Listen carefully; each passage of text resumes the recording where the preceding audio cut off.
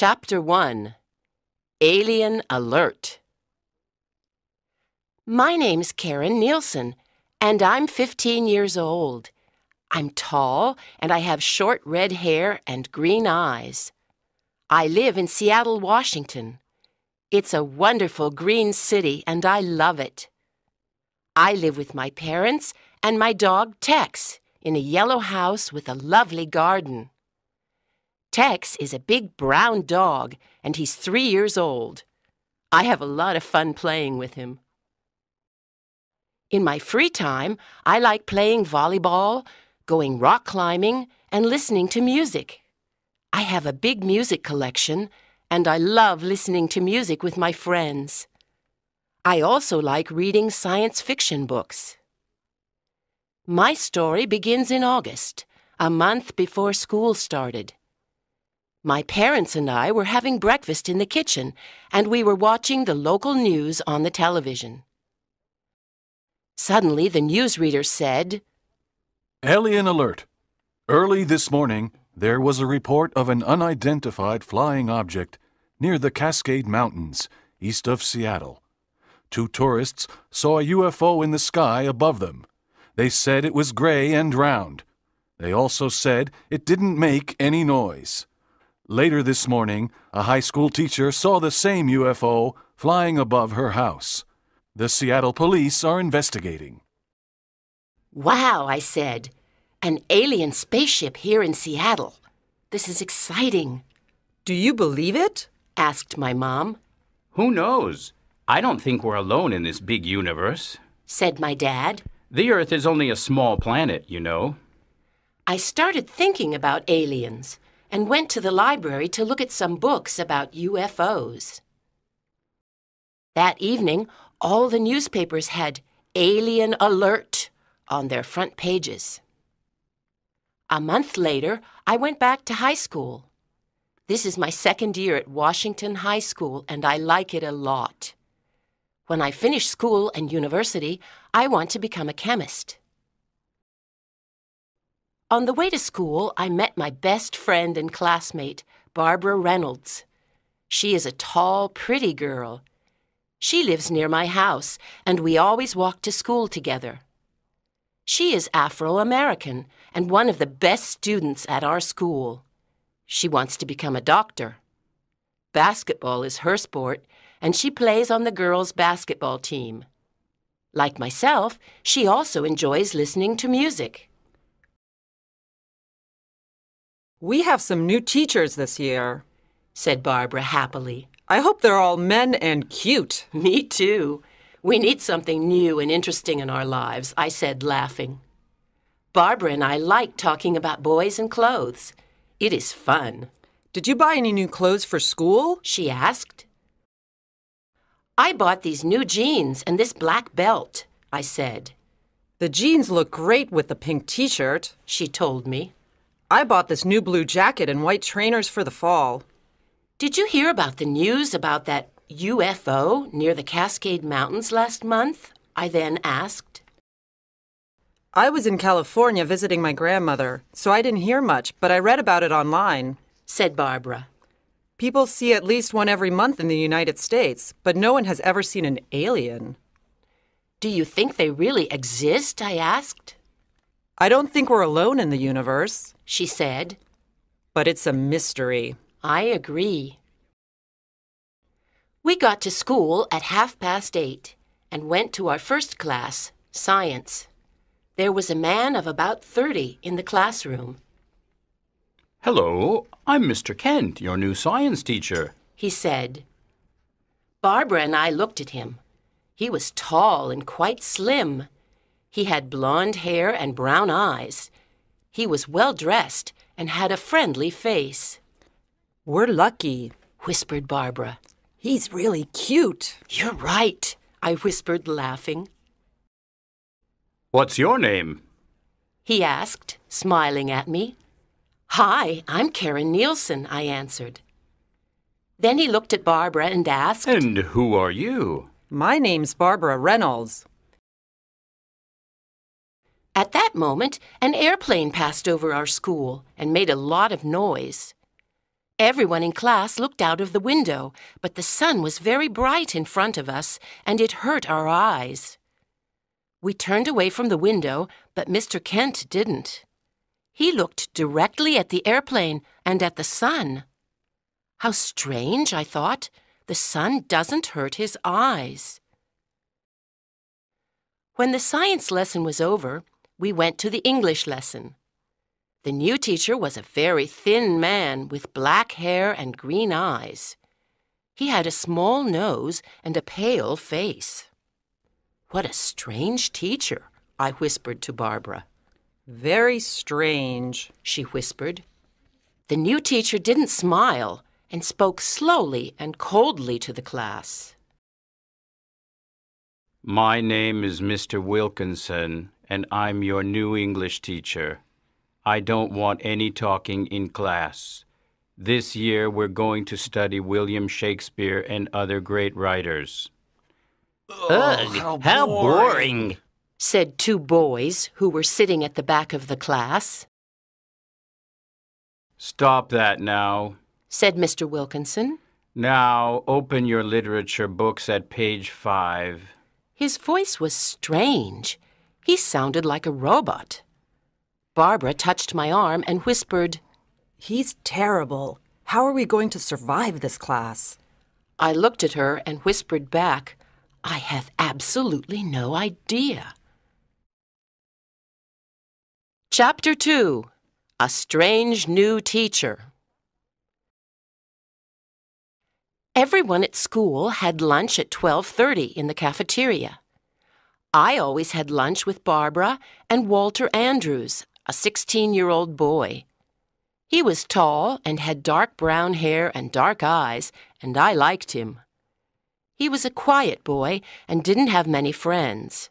His favorite subjects were math and science, and he liked computers a lot. His parents were divorced, and he lived with his father and his cat, Tootsie. He was often lonely because he never saw his mother, and his father was always at work. He loved Tootsie and spent a lot of time with her. What do you think of our new teachers? I asked Barbara and Walter. Well, I think Mr. Kent is really cute. He's friendly, too, said Barbara. But did you see the way he looked at the airplane? The sun didn't hurt his eyes, said Walter. Did you hear Mr. Wilkinson's voice? I asked. He talks like a robot. His voice is so cold. And he's unfriendly, said Barbara. Hey, look over there. Look at what he's drinking, whispered Walter. We all looked at Mr. Wilkinson, who was sitting by himself in a corner of the cafeteria. He had a strange lunch. There was a glass of green juice in front of him, and on the table there were some black pills. He put two of them into the glass, and the green juice started to make bubbles. Then suddenly it changed color and became red. Mr. Wilkinson took the glass and slowly drank the mysterious red juice. We looked at each other nervously, but then started laughing. How can he drink that? I said. Perhaps it's a new diet, said Barbara. And that's why he's so thin. I don't think so, Walter said.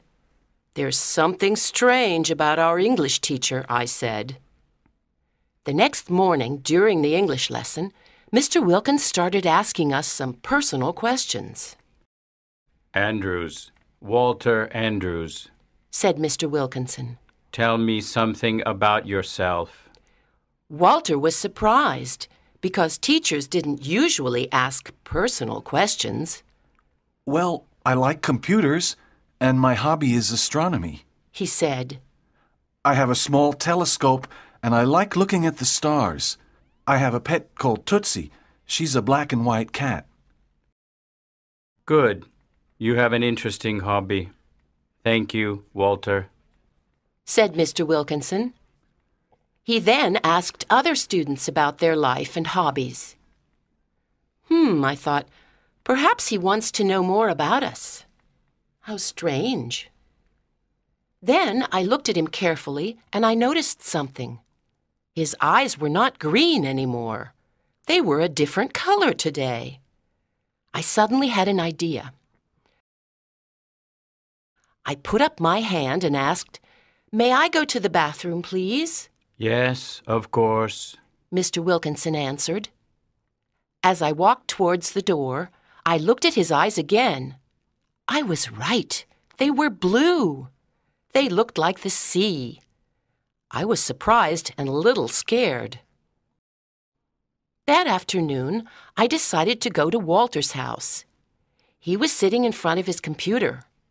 He was very interested in aliens and life on other planets. There were posters of the solar system and the constellations on the wall of his room. Did you hear about the alien alert last month? I asked. Yeah, in the Cascade Mountains, right near Seattle. said Walter.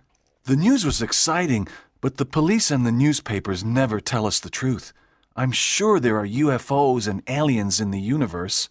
What are you looking at now? I asked. I'm on the internet, on the International Space Club site. He said excitedly. Listen to this, Karen. Something very important is happening. A comet is passing through the Virgo constellation. When a comet and a constellation meet, aliens can travel to our planet. Everything is right for intergalactic voyages. What are intergalactic voyages? I asked. They're when you can travel from one galaxy to another. Walter said. They can take place only at special times. For example, when a constellation and a comet meet.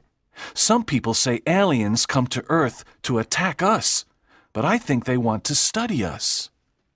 Wow, you know everything about space, I said, I love space. said Walter, smiling. I want to become an astronaut. I want to go to another galaxy and perhaps meet aliens. Wow, that's interesting and dangerous, I said, and started thinking. Suddenly, I had an idea. Perhaps Mr. Wilkinson is an alien, I said slowly. What? He cried, looking at me. Oh, Karen, you read too many science fiction books. He's not an alien. Well, his voice doesn't sound human. His eyes change color, and he has a very strange lunch, I said. What do you mean his eyes change color? He asked, surprised. Didn't you notice? I said. Yesterday they were green, and today they were blue. Are you sure? He asked. Of course I'm sure, I said excitedly. Listen, Walter, there was a UFO sighting last month, and Mr. Wilkinson is a new teacher at Washington High. No one knows where he comes from. Perhaps he arrived on that UFO.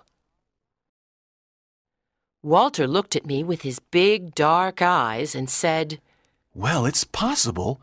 He has got a very strange face, and his voice is really cold. Perhaps he is an alien.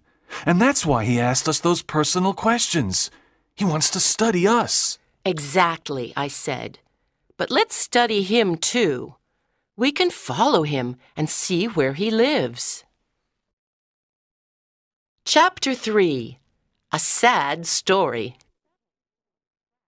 Good morning. Mr. Kent said, smiling. Today we're going to the lab to do some practical work. The lab was a big room with long tables, chairs, and big cupboards. There were white mice in cages. When Mr. Kent walked by their cages, they all started running around and making a lot of noise. What's the matter? Laughed Mr. Kent, speaking to the white mice. Are you afraid of me? I won't eat you. Then he looked at the class and said, Today's lesson is about worms. I'm going to give you some worms, and you have to cut them in half. The two pieces can live and move by themselves. You'll see. I was not happy. I looked at my worm. It was long and green. I didn't want to cut it. Karen, are you afraid of your worm? Asked Mr. Kent, smiling. Give me your knife, and I can help you. His arm touched mine, and I got an electric shock. I jumped up from my chair, What's wrong, Karen? asked Mr. Kent. Oh, nothing, nothing, I said, trying to smile. He cut the worm and then walked to the next table to help other students. I wrote a note to Walter and told him about the electric shock. Walter, I whispered. He turned around and I gave him the note. Uh, Walter and Karen, what are you doing? Asked Mr. Kent. What do you have in your hand, Walter? His voice scared me. Walter and I were in big trouble with the teacher, Uh, nothing. said Walter, Please pay attention. said Mr. Kent, Next time, you'll have to give me the note. I'm sorry, Mr. Kent. said Walter. When the science lesson was over, Mr. Kent called me to his desk. Oh no, I thought. I'm sorry I scared you during the lesson. Two years ago, I had a bad car accident and lost my arm. My left arm is artificial. It's an electric arm. Sometimes it gives electric shocks. I was surprised and sorry. At lunch, I told Walter and Barbara about Mr. Kent's electric arm. They were both surprised. As we walked out of the cafeteria, we saw Mr. Wilkinson, Hello, Mr. Wilkinson. said Barbara. Oh, uh, hi. He said, looking at us. His eyes were green again, but I didn't say anything. At half past three, Walter and I ran out of the school and waited for Mr. Wilkinson to walk by. We saw a lot of students and teachers, but we didn't see him. Finally, we saw him walking down the street, and we followed him silently. He lived near the school in a pretty white house. There was a small garden around it and a big tree near the front door. He walked into his house, and we went quietly to a window and looked inside. He put some books on the kitchen table and opened the refrigerator. He took out a bottle of the horrible green juice and put it on the table. Then he went upstairs, Oh, no. said Walter. He went upstairs. No problem, I said. I can climb up this tree. Are you sure? asked Walter, surprised. Of course, I said, laughing. Don't forget, I go rock climbing, Well, be careful, Karen. said Walter. I climbed up the tree, and I could see Mr. Wilkinson's bedroom, What's happening? whispered Walter. He's in his bedroom, and he's sitting in front of a mirror, I whispered back. His hands are on his hair. Oh, no! What? Tell me. asked Walter. I continued looking into the house. Mr. Wilkinson was now completely bald. I felt cold. Suddenly, I saw my face in Mr. Wilkinson's mirror, and he saw it too. He turned around and looked at me. I was terrified, and I didn't know what to do. I could not run away because I was at the top of a big tree. But Mr. Wilkinson didn't look angry. He looked sad. He walked over and opened the window. Karen, what are you doing up this tree? He asked. I, uh, Please climb down. he said. I want to talk to you. I climbed down the tree, and Walter was waiting for me. He looked very worried. Come on, Karen. Let's run away. He said. No, Walter, we can't, I said. Mr. Wilkinson wants to talk to us. Mr. Wilkinson came out of his house and stood in the garden. You students think I'm strange. He said quietly. I can understand why. Walter and I were terrified. Let me tell you my story. Last year, my doctor told me I was very ill. I had cancer. Oh, how terrible! I'm really sorry, I said. Yes, it was terrible. I had an operation and then chemotherapy. After the operation, I lost my voice, so now I speak with a type of artificial voice. That's why my voice sounds strange. I lost all my hair from the chemotherapy, so now I wear a wig. We didn't know. said Walter, Mr. Wilkinson, we're very sorry about our terrible behavior. said Walter. Yes, please forgive us, I said. Oh, don't worry. I am getting better now, which is good. He said quietly. May I ask you a question? Walter said. Of course. What's that green juice you drink at lunch? Walter asked. He smiled and said, The green juice and the black pills are medicines. But why do your eyes change color? I asked. So you saw that, did you? You kids see everything. said Mr. Wilkinson. I wanted to do something different, so I bought a pair of colored contact lenses. I thought a new look could make me feel better. Did the contact lenses make you feel better? I asked. Mr. Wilkinson looked at me and smiled. A little. It was nice having something different for a day, but it's my job that is really making me feel better. You like your job, don't you? asked Walter. I love my job. Said Mr. Wilkinson, smiling. It's wonderful to work with young people like you. Do you like Seattle? I asked. Yes, I do. Said Mr. Wilkinson. It's a beautiful city with lots of parks and fun things to do, and I'm starting to make a few friends. Good, I said, smiling. Welcome to the Emerald City. We all laughed. Chapter 4 Who's in the Computer Room? After leaving Mr. Wilkinson's house, Walter and I talked about our visit. Both of us felt very sorry about our behavior, I think we learned a big lesson today. said Walter. Some people seem strange because they have problems, big problems. But they're people just like you and me, and they need our help and friendship. I agree with you, Walter, I said. But we learned two important lessons today, thanks to Mr. Wilkinson. We must help and understand others. And it's not nice to invade someone's privacy. I thought about Mr. Kent and his artificial arm. He was another person with a big problem. Well, the mystery is solved, I said. Mr. Wilkinson isn't an alien. He's a very nice teacher. We walked in silence for a few minutes. We were both thinking about Mr. Wilkinson. Hey, do you want to get an ice cream now? I finally asked Walter. Good idea.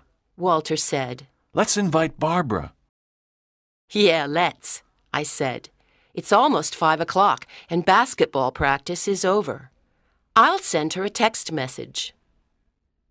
Thirty minutes later, we met Barbara and we sat down by the sea and ate our three large ice creams. So, what's happening? Asked Barbara. We have a lot of news for you, I said. Really? Well, don't make me wait. Tell me immediately. said Barbara, laughing. We told her everything the news about the comet and the intergalactic voyages, and how we had the idea that Mr. Wilkinson was an alien.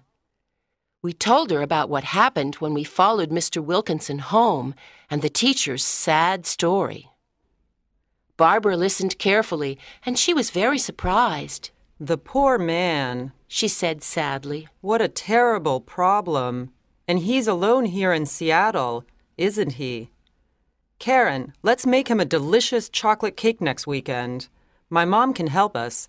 It'll be a welcome present. Yes, let's do it on Sunday afternoon.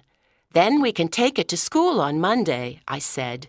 He'll love it, Well, girls, I'm not a good cook, but the chocolate cake sounds great. said Walter, Now tell me more about intergalactic voyages. said Barbara. Yes, please do, I said. Perhaps aliens will come to visit Earth. Walter told us a lot of interesting things about UFOs and aliens. I suddenly noticed that it was getting dark. I tried to look at my watch, but it wasn't on my arm. Oh no, I said. Where's my watch? Then I remembered. I took it off in the gym at lunchtime. I'm sure I left it there near the showers after volleyball. I must go and get it now. Don't worry, Karen. The janitor will find it and put it in a safe place. You can get it in the morning. said Barbara. But that watch is really important to me. It was a present from my grandparents, I said, But the school's closed at this time. said Walter. No, it's not closed today because Mrs. Wong is preparing some math tests for her classes, I said, How do you know that? asked Walter. I heard her talking to Miss Cruz this morning, I said, You know everything. Said Barbara, smiling. Okay, then. We'll see you tomorrow morning. Walter also smiled and said, Good luck. I ran to Washington High, and the main door was open. I went in and started going to the gym, but something stopped me. I had a strange feeling, but I didn't know what it was. Something was pushing me upstairs. I was afraid because the school was dark and silent. I started going up the stairs to the first floor. Where am I going? The gym is downstairs. Why am I going upstairs? I asked myself. My heart was beating faster and faster. Something was waiting for me at the top of the stairs. I knew it. But what was it? I wanted to run home, but I could not do it. I had to find out. When I got up to the third floor, I saw a light on in the computer room.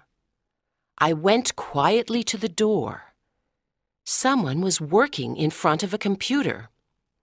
It was Mr. Kent. He was writing a long line of numbers and letters. Suddenly, I saw the face of an alien on his computer screen. The alien had a green head and big red eyes. It didn't have a nose or any hair. Its mouth and ears were very small. Then Mr. Kent put both of his hands on his head. He closed his eyes and started pulling his hair. He was taking his hair and his face off. Suddenly, Mr. Kent had a green face like the alien on the screen. He was an alien. I was terrified, but I could not run away. He started talking to the alien on the screen. Clyreg is calling home. Clyreg here. He said, All tank Pilex, Clyreg. This is your leader speaking. How are things going? said the alien on the screen with a strange voice. Everything is fine, Gortz, but I'm tired of this mask. Life as a human is difficult. He said, Your work on Earth is very important. said the alien. You have to stay there until everything is finished. Did you choose the student who will come to Mitrax? No, I'm going to choose one tomorrow. Said Mr. Kent. What? I thought. He's going to take a student to another planet? This is terrible. There's little time, Clyreg. You have to hurry. Remember, we'll meet you and the student at the old airfield behind the school on Friday night at 9:30 p.m. Don't be late. When the comet leaves the Virgo constellation at midnight, the intergalactic doors close, and then we can't return to Mitrax for another 600 years. I know, Gortz. I won't be late. said Mr. Kent. Good. But how will you get the student? You can't touch him or her because you're electric. I have a plan. said Mr. Kent. On Friday evening, there's a PTA meeting at school. There will be a lot of people here. teachers, parents, and students. During the meeting, I'll ask a student to come with me to the science lab. Then I'll spray him with my special X5 spray. With the X5 spray, humans can't think anymore. They forget who they are. They can only obey. The student will follow me to the old airfield. Everything on Mitrax is ready for the human. said the alien. We want to study him. Good. I'll thank Pelix, Gortz, said Mr. Kent to the alien. Then he wrote a long line of numbers and letters on the computer screen, and it turned black. I went quickly and quietly down the stairs and ran out of the building. I started running down the street and across the park. I could not stop thinking about the green head and the big red eyes of the alien. And I could not believe that Mr. Kent was an alien and he was planning something terrible. What could I do to stop him? I had to talk to Walter and Barbara. I felt cold and my heart was beating fast. I wanted to get home as fast as possible. Chapter 5 The Plan When I arrived at school the next day, I went to the gym to look for my watch. I could not find it near the showers, so I went to ask the janitor. Hello, Mr. Phillips, I said. Did you find a watch near the showers yesterday? Yes, I did. said Mr. Phillips. Here it is. He took my watch out of a box on his desk and smiled. Oh, that's great. Thanks a lot, I said happily and ran to class. At lunch, Barbara, Walter, and I sat together in the cafeteria. I had a lot of things to tell them. Well, guys, guess who's an alien? I said. Oh no. Said Walter. Not another alien. First it was Mr. Wilkinson. Is this a joke? asked Barbara. No, listen to me, please, I whispered excitedly. Mr. Kent is an alien, What? cried Walter, No, he's not. cried Barbara, who thought I was joking. Shh, be quiet, I said. Some of the other students turned around and looked at us. Let me tell you what happened last night. I told them everything about last night. My friends were shocked, but they believed me. They stopped eating their lunches, Do you remember the alien alert in August? asked Walter, All the newspapers were talking about it. Yeah. said Barbara. Some people saw a UFO near the Cascade Mountains. Then Mr. Kent is one of the aliens from the UFO. said Walter. Do you remember how he looked at the sun the first day of school? And how the mice in the cages were afraid of him? Wow! Aliens scare me. said Barbara. A teacher who's an alien at our school. I don't think aliens are bad. said Walter. They're just different. Now listen, I said. Other aliens are coming to the old airfield Friday night in their spaceship. They want to take Mr. Kent and a student to their planet, Mitrax. They want to study humans, A student? cried Barbara, That's one of us. We have to stop him. said Walter, Are the aliens coming this Friday? asked Barbara. Yes, on the day of the PTA meeting, I said. And today is Thursday. We only have one day to do something. I have an idea. said Walter. What is it? I asked. We have to find the special X5 spray and take it away from Mr. Kent. Walter said. Without it, he can't take the student. Great idea. said Barbara. The spray is probably in the science lab or in his house. This afternoon, when he goes home, we can look for the spray in the science lab. said Walter. But all the sprays and bottles are in locked cupboards, and we don't have the key. Maybe my brother Matt can help us. said Barbara. He's a policeman, and he has a special key that opens all doors. Can we use it? asked Walter. Well, I can't tell him our story because he'll never believe it. said Barbara. But sometimes he goes to work and leaves the special key in his room. I'll look for it and take it. Then I'll put it back.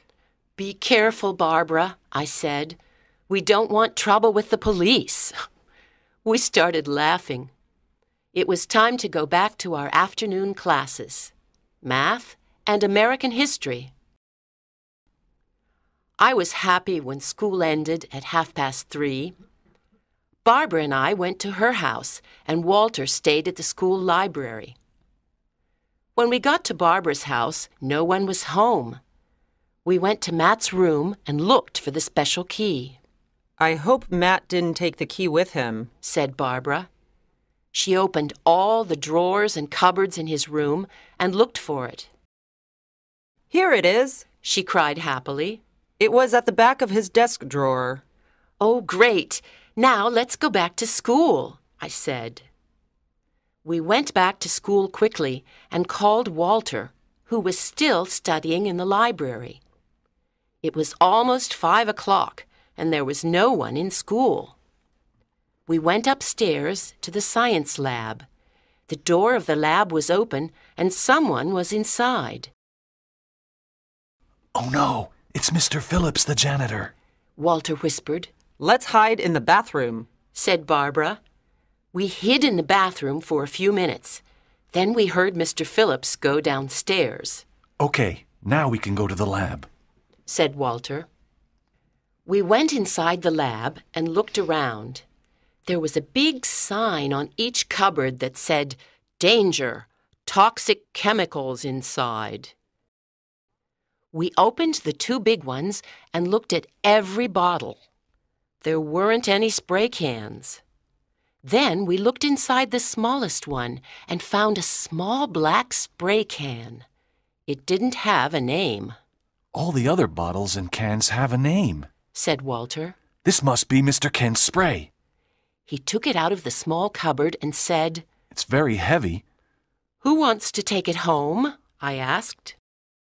Not me. Said Barbara. My mother always looks around in my room. Mine does too, I said. Oh, I'll take it home. Said Walter.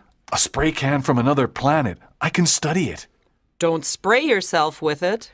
Barbara said, laughing. Walter, Barbara, and I went home because we had a lot of homework to do. After dinner, the phone rang and I answered it, Hi, Karen. said Walter. Can you come to my house? I have to talk to you. It's eight o'clock and I'm doing my homework, I said. Karen, please. This is important. Walter said. Are you all right, Walter? I asked. You sound strange. Please come, Karen. It's important. Okay, I'll be there in 15 minutes, I said.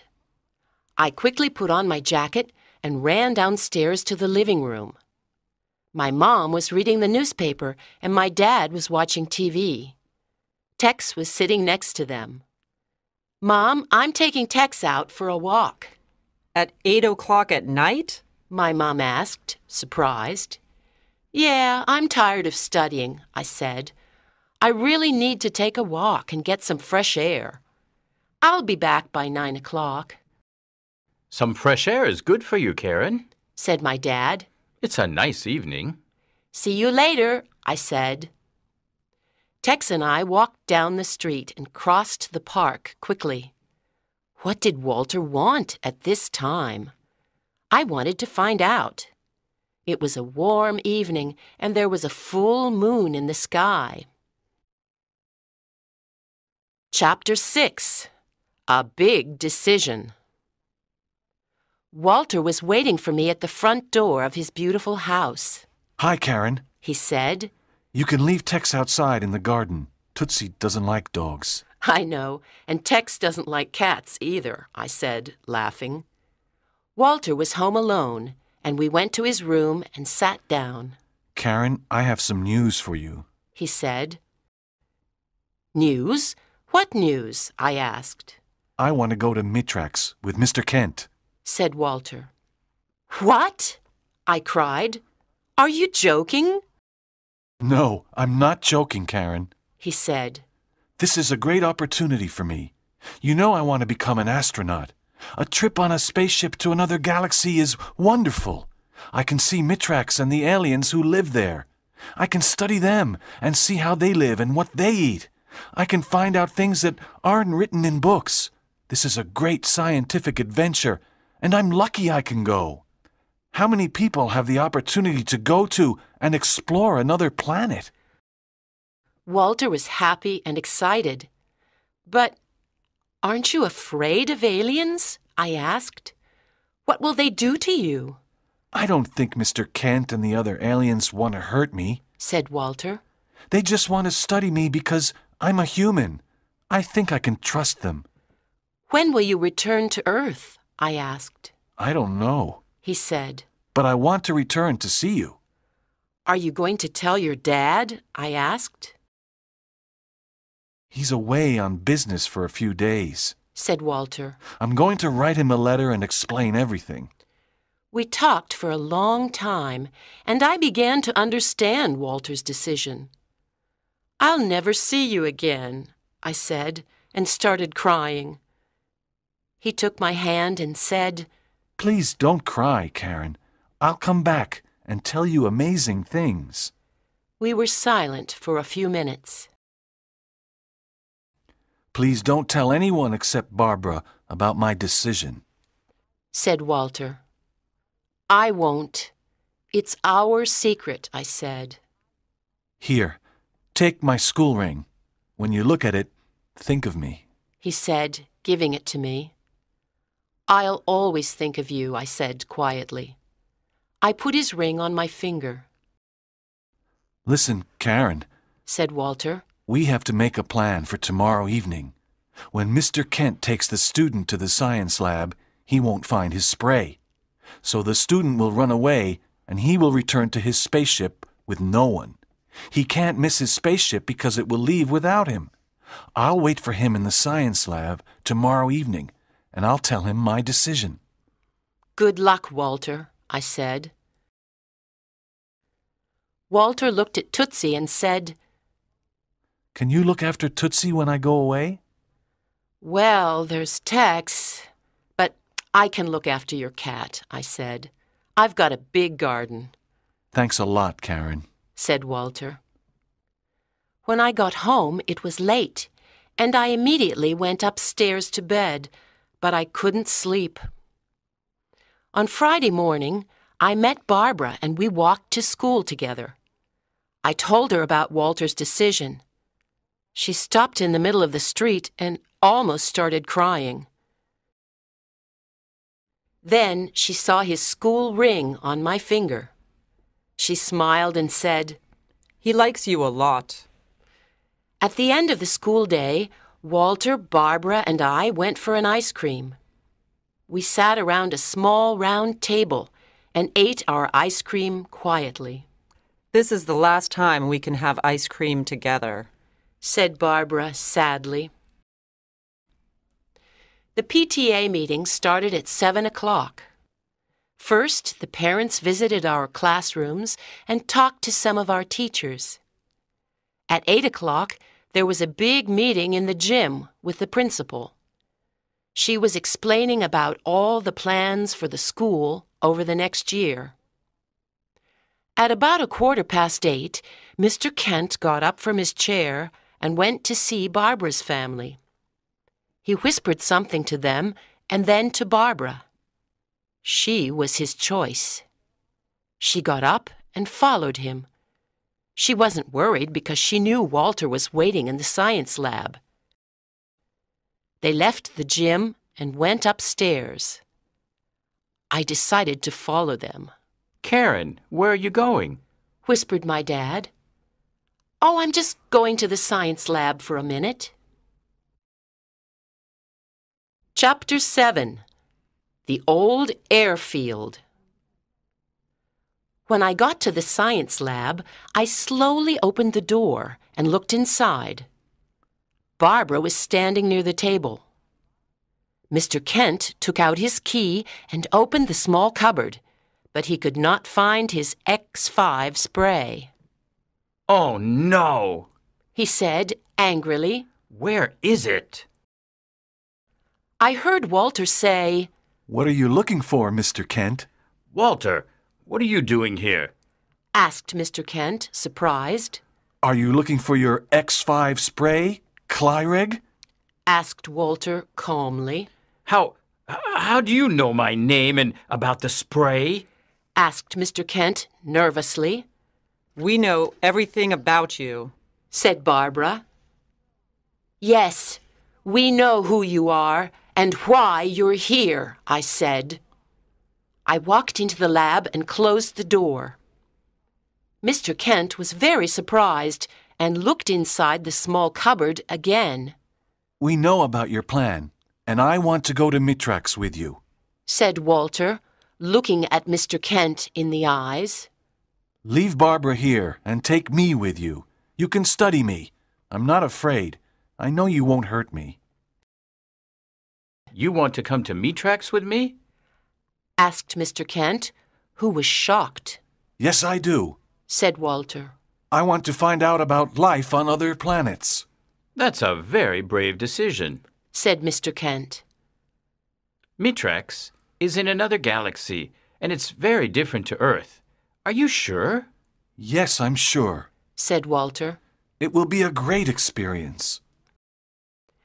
Mr. Kent, can I ask you what Mitrax is like? I asked. I wanted to know something about where Walter was going. Yes, Karen, you can. He answered. Mitrax is a small planet, about half the size of Earth. There are no buildings, and we all live in spaceships. Our technology is much more advanced. Walter will have a lot of fun discovering all the new things. It sounded interesting.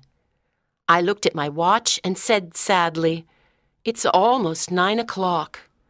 You're going to miss your spaceship. Goodbye, Walter, and good luck, One day I'll come back. said Walter, looking at me.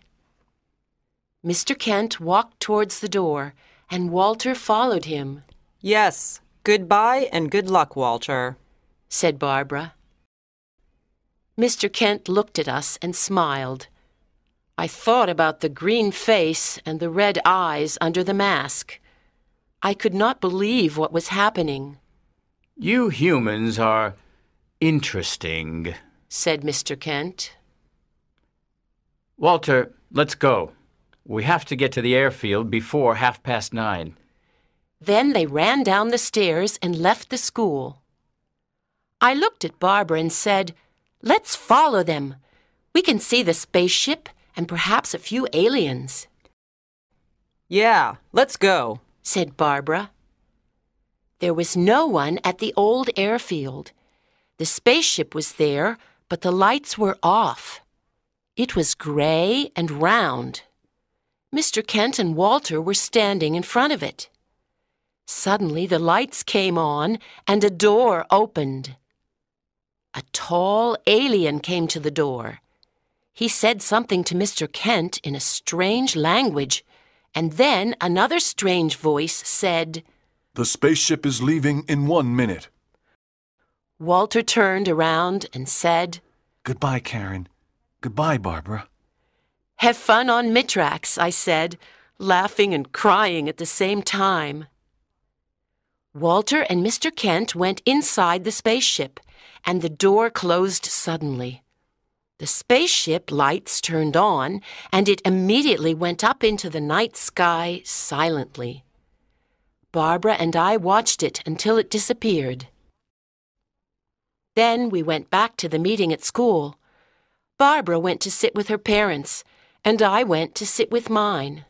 Is everything all right, Karen? My mom asked. Of course, I said, This is a very interesting meeting. said my dad. When it's over, we're invited to coffee and cake in the cafeteria. Oh, okay, I said. But I wasn't interested. I was thinking about Walter, Mr. Kent, the spaceship, and Mitrax. Barbara looked at me and smiled. She was the only one who could understand how I felt that evening. Six months later, the day after the PTA meeting, Barbara and I told everyone the truth about Mr. Kent and Walter. The news was on the front pages of every American and foreign newspaper. There were hundreds of articles about the UFO, Mr. Kent, Walter, and Mitrax. Journalists came to our school and interviewed us. They took pictures of us and the old airfield. TV stations from all over the world also came to film Washington High School. The news was on television for weeks. Then things slowly started to get back to normal. At school, we now have a new science teacher. Her name is Miss Lundberg, and I don't think she's an alien, but who knows? Mr. Wilkinson is feeling better, and he often smiles and laughs. He's starting to eat a big lunch in the cafeteria, like everyone else. We all like his English class because he is an excellent teacher. He'll be our English teacher next year, too.